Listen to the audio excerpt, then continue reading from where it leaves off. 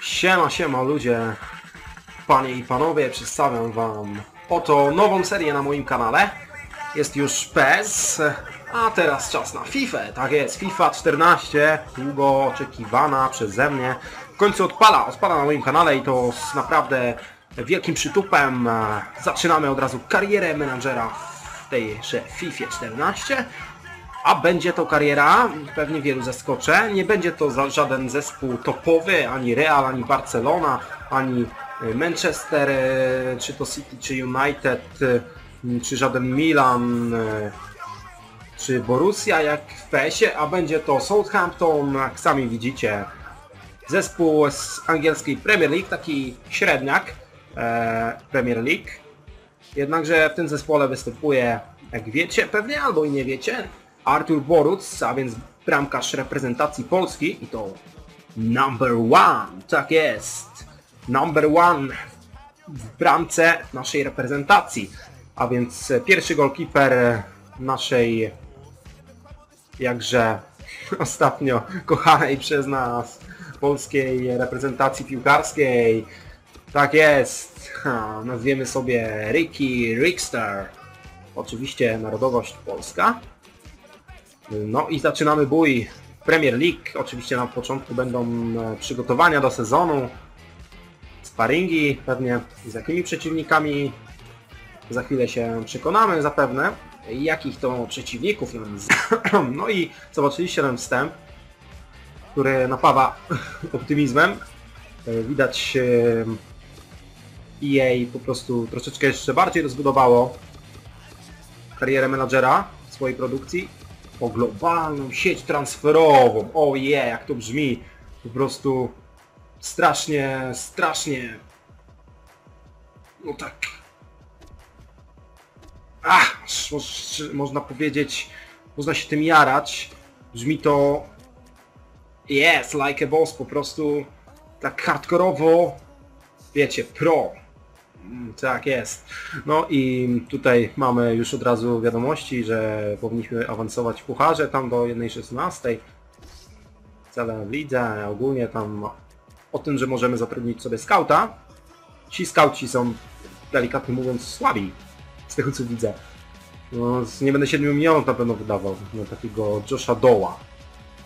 No, pewnie jest pro, wiecie, no ale no tyle funduszy, no może i mam, ale nie będę prawie całego budżetu na skauta yy, przeznaczał, także kupiliśmy sobie Szweda, trzy gwiazdki ma jakości, całkiem, całkiem, no i wprawy mniej, bo dwie, ale 800 tysięcy euro myślę, że e, da, da radę sobie jak na początek kariery, to będzie odpowiednia osoba na tym stanowisku. Artur Borut widzimy 75.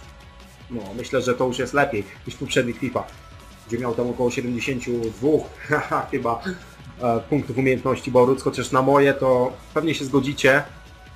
Powinien mieć te 78 do 80, tak?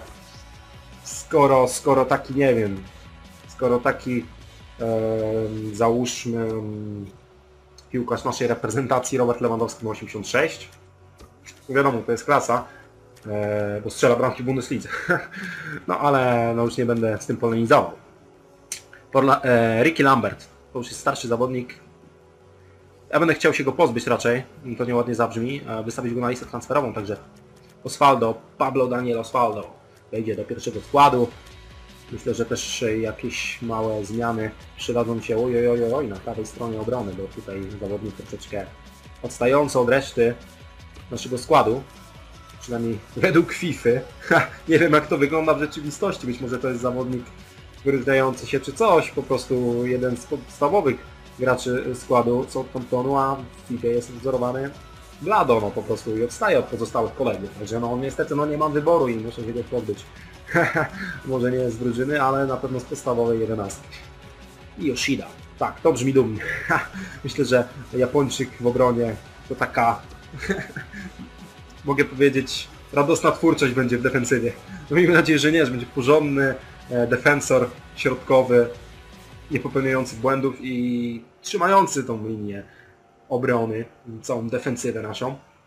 Ale Yoshidę to ja znam, bo czasami zdarza mi się, zdarza mi się, no, trochę częściej ostatnio oglądać ligę angielską. Według mnie to jest e, najsilniejsza liga na świecie. W Europie, to znaczy na świecie, bo tak, bo liga, liga mistrzów, tak, to są same zespoły z Europy. No, ogólnie kluby z Europy są najsilniejszymi na świecie, tak. No, na świecie nie mogą konkurować inne ligi. No, myślę, że brazylijska jest dosyć silną ligą, ale no, z tymi ligami angielską, hiszpańską czy niemiecką, czy nawet tam francuską, czy portugalską chyba się równać nie może. Powiem macie inne zdanie, ale raczej, raczej ja mam rację. No i widzicie, że globalna sieć transferowa, no nie za bardzo jeszcze ogarniam tematu, nie za bardzo łapię o co chodzi. E, Jak już mówiłem, Paul, e, Paul. Co ja mam z tym Polem? Paul to on przecież prowadzi Aston Villa, tak? Jest już zawodnikiem, który zakończył karierę, znaczy jest teraz trenerem. To jest Ricky Lambert. On został przeze mnie e, na listę transferową wystawiony, tak jak już wcześniej zapowiadałem. No, na razie nie będę tu kombinował, chyba nie znam innych zawodników. Na razie to zostawmy sobie po prostu, no, na kiedy indziej, na następne odcinki. A już Wam uprzedzam fakt, że ten odcinek będzie naprawdę długi. Mm, Ja nie wiem, czy kolejne będą tak długie. Nie wiem, czy będzie mi się chciało po prostu takie długie nie patrzę robić po prostu z FIFA. Ale no ten odcinek taki inauguracyjny, można powiedzieć, tak, czekałem na ten FIFA 14. Bardzo długo, w końcu się doczekałem, w końcu ją mam. No i, no i po prostu tak troszeczkę się nią podjarałem, że ten odcinek jest taki, a nie inny. Takiej długości. Prawie 20 minut. Troszeczkę ponad 19 już wam zdradzę. E, No i e, dziwicie się pewnie. Chcę kupić Arkadiusza Milika do ataku. Jest to młody, perspektywiczny napastnik. Bardzo młody, naprawdę. Rocznik 9-4. Także możecie mnie hejtować jak chcecie, ale Arkadiusz Milik będzie obserwowany przez mojego scouta. Przez cały zarząd Southampton, naprawdę, jeżeli się będzie dobrze spisywał w Augsburgu, w lidze niemieckiej w końcu, Bundeslidze, równie dobrej. Nawet nie, nie wiem, czy powoli nie staje się ta Bundesliga silniejsza od Premier League. Też możecie mnie za to skejtować, możecie polemizować z moim zdaniem, ale Bundesliga naprawdę robi się poważnym konkurentem i dla Ligi Hiszpańskiej, i dla Ligi e, Angielskiej, aczkolwiek chyba od Ligi Hiszpańskiej już jest lepsza. Nie wiem, czy stawiać Premier League na równi z Bundesligą, ale no już powoli, powoli są to podobne poziomem ligi. E, dobra, Arkadiusz Milik jest obserwowany. Tutaj mamy ofertę za e, Rickiego Lamberta. E, Czy ofertę? O, ofertę. E, Wysłaliśmy już tą ofertę. Ja zamulam trochę, widzicie. Nie ogarniam. E, No i się zgodzili. 3 e, miliony 200 tysięcy euro. Myślę, że to jest cena adekwatna do, do jego umiejętności. Jest tyle warty właśnie. A więc za tyle może odejść Lambert. O, no i zbliżamy się do pierwszego meczu sparingowego, 28. Tak jest, już za chwilę nadejdzie ten moment, kiedy rozegramy ten pierwszy mecz w karierze menadżera w FIFA 14. No kolejna oferta za tego samego zawodnika, za Rickiego Lamberta. Dajemy taką samą ofertę, kontrofertę. oh my godness. Fucking, fucking shit. Będziemy musieli się pozbyć niestety naszego jednego z lepszych zawodników w naszej drużynie, podstawowego na pewno zawodnika. No ale za 6,5 miliona euro są Campton, myślę, by nie pogardził tym by tego zawodnika naprawdę w realu też sprzedał, także no, nie, nie miałem wyjścia. Nawet jeżeli jesteście jakimś tam zwolennikiem tego zawodnika, to za 6,5 miliona euro dla Southampton to, to jest jednak hajs, to jest już jakiś hajs. Tym bardziej, że jest warty 4, niecałe. Także postanowiłem go sprzedać. A my już przechodzimy do pierwszego meczu sparingowego sezonu 2013-14 w FIFA 14. Mecz z francuskim Valenciennes. A więc kierunek obraliśmy taki e, egzotyczny bardziej chyba dla, dla Anglików, dla Ligi Angielskiej. Troszeczkę muszę powędrować do Francji. Bez przesady, nie jest to Rosja jakaś daleka na wschód. To jest tylko Francja. Rywal, no myślę, że no, no, no, na poziomie Southampton, może nawet troszeczkę słabszy. Jednak Liga Francuska odstaje od Premier League, a Valencia do drużyny z dolnej raczej części tabeli. A, a, e, taka ciekawostka dla, dla wszystkich fanów futbolu. E, Meliksen tam przeszedł z Wisły dobrze? Że wiecie. Pro. O i pierwsza sytuacja dla Valenciennes niespodziewanie, ale Boruc tylko tą piłkę lekko bodajże musnął. Albo i nie. Gdzie będziemy w to wnikać? Nie, jednak jej nie musnął. No Jak widzieliśmy, rozpoczęli od bramki nasi zawodnicy. Osvaldo, to jest ten zawodnik, który Lamberta ze składu wygryzł, chociaż tu jeszcze Lambert gra, ale długo sobie nie pograsz chłopie, bo już, już jesteś rozchwytywany na, na liście transferowej już tam na rynku transferowym, przepraszam, teraz pierwsze uderzenie naszej drużyny. Właśnie Lambert uderza, o dziwo. I jeszcze raz Lambert uderza, bardzo groźnie, aż pozostaje mi płakać. No ale nie ma co płakać nad rozlanym mlekiem, tak? Zawodnik już jest praktycznie wytransferowany. No, nie wiem, może by się dało to cofnąć, w sumie nie zaakceptować. tak, tak. Nie no, chyba, już nie. Wysłałem to mi się zgodzili, no trudno. Lambert już nie będzie zawodnikiem naszej drużyny, a spisuje się o dziwo naprawdę bardzo dobrze w tym meczu. Remisujemy co prawda 0-0.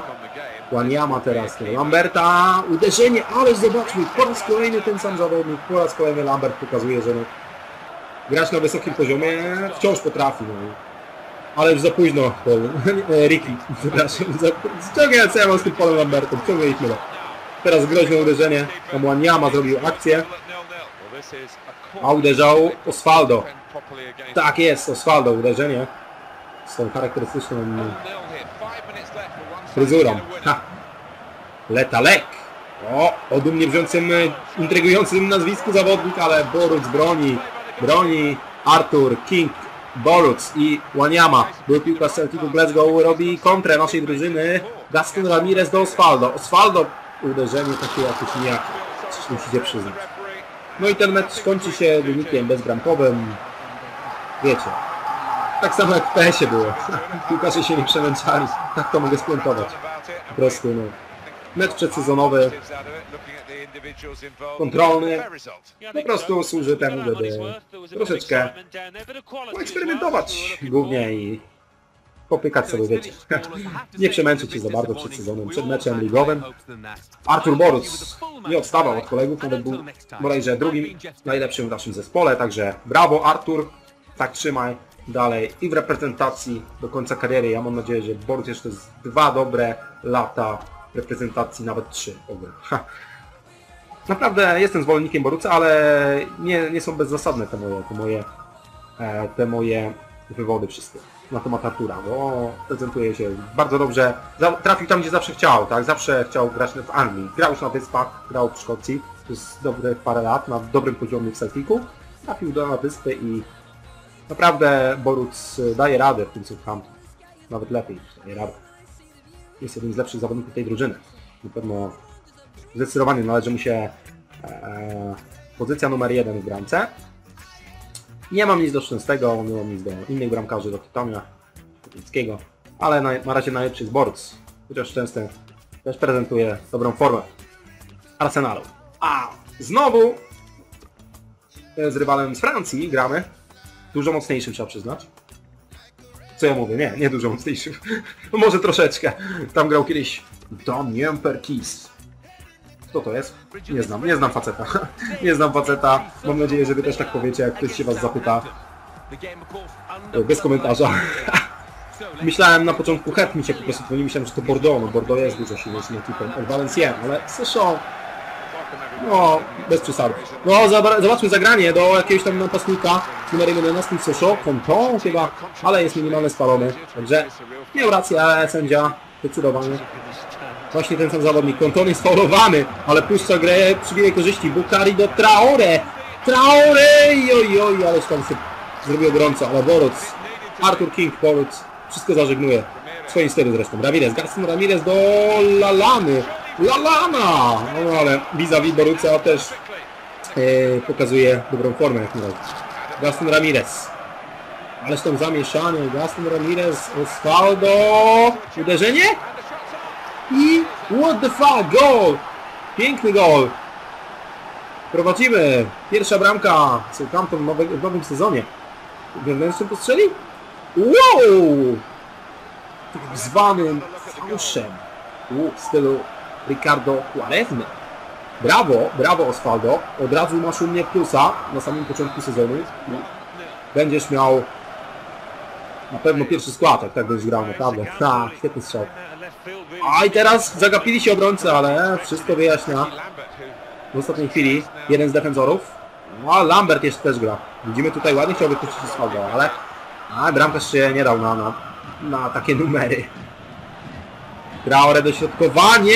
Broni świetnie Boruc, ale nie zdobytka Kamary. Jakiś tam Kamara niestety, nazwisko nieznane, ale zawodnika bliżej, bliżej nie miałem okazji poznać już. Panem Ligi Francuskiej nie jest. Po prostu. Z takiego błahego powodu. Po prostu nie, nie za Ligą Francuską. Nie wiem czemu, ale nie przypadam. Jedyny klub, który w miarę lubię teraz to PSG, dlatego, bo lubię styl Zlatana. Jest to taki niepokorny piłkarz, ale lubię go prostu i dlatego PSG teraz jeszcze w miarę w Ligę Mistrzów kibicuję. Lawecji też spokojowy. No, no i wiadomo. No i wiadomo. Kto jeszcze z Napoli przyszedł, tak? To jest bestia. To jest bestia. Także też dla tego zawodnika. No i teraz sytuacja Bukari. Jeszcze będzie sytuacja, ale no totalnie spartaczona przez zawodników Syszo. No i długie zagranie. Jest Lambert. On już za długo nie pogra w naszym zespole. Ale strzela gola! No i tak tak żegna się z kibicami e, z Southampton. No i tak też pokazuje nam jak ma wyjebane na to, że, że go sprzedaje po prostu. No, nie taka informacja do niego dotarła, to mi się wydaje, przynajmniej, tak podejrzewam. No, ale pokazał, że za bardzo się nie przejmuje tym tańcem. No i kolejna akcja już e, była w naszej drużyny, ale podanie dokładne. Teraz jeszcze znowu ten, ten tą. Oj, oj, rude? Jakiś rude, ale Boruc z takimi ru, rudetami to sobie radzi zjada ich na śniadanie, można powiedzieć. Osvaldo. Osvaldo do Lalany, musi być gol! Ale jakimś stylem go nie. Boruc zawodnikiem meczu, e, przynajmniej w Southampton, bo też uratował e, drużynę parokrotnie. Ale nie, no myślę, że raczej i strzelcy bramek i Boruc na podobnym poziomie, powinni być podobno oceny pomoczowe. Zobaczmy zresztą. No tak, strzelec bramki tej pierwszej Osvaldo, najwyższa ocena, Lambert też. Ale nie, Borus najwyższa ocena w naszej drużynie, tak jest. No brawo, brawo, brawo dla FIFA. No, a zawodnikiem meczu Traore. Ten, który miał asystę przy golu na 1-1. Ten, który dośrodkowywał, pamiętacie, wiecie, ten Mudzinek nie jest jakimś rasistą. No ale inny Mudzinek mi za, zapadł pamięć, ten z taką fryzurą, taki z 11, z tym dziwnym nazwiskiem.